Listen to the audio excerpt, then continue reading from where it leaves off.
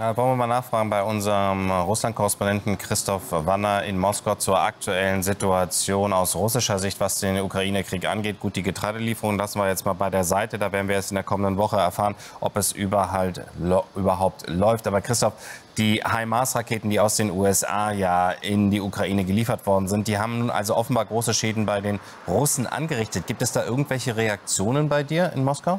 Mhm. Ja, Carsten, äh, die gibt es und äh, kurz vorweg, diese HIMARS Mehrfachraketenwerfer der USA sind ein enormes Ärgernis äh, für Russland. Und da hat sich jetzt heute Maria Sacharowa zu Wort gemeldet, die Sprecherin des Außenministeriums und hat gesagt, ja, äh, die Amerikaner liefern nicht nur die HIMARS, sondern äh, sie geben den Ukrainern auch die Koordinaten, äh, wo, wo, die Raketen hin müssen, um russische äh, Waffenlager zum Beispiel zu treffen.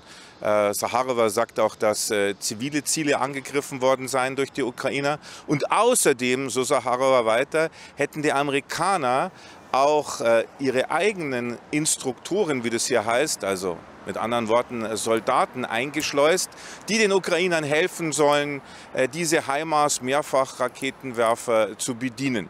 So, und ähm, jetzt versuchen die Russen dagegen etwas zu tun, und zwar indem sie ähm, diese Waffenlager, die sie zentral gehalten haben, aufsplitten in viele kleine Lager.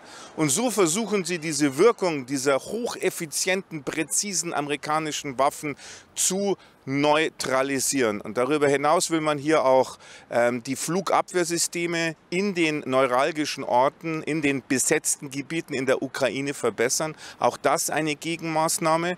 Und es gibt auch Vergeltungsschläge für diese HIMARS-Attacken auf äh, russische Stellungen. Und zwar jetzt ganz frisch ist das Zentrum der ukrainischen Stadt Vinica angegriffen worden. Und das steht in meinen Augen im unmittelbaren Zusammenhang mit den HIMARS-Attacken nach dem Motto, wenn ihr uns hier äh, mit diesen Waffen so drangsaliert, dann werden wir zurückschlagen und zwar auch an Orten, die bisher noch nicht im Zentrum der russischen Angriffe gestanden haben.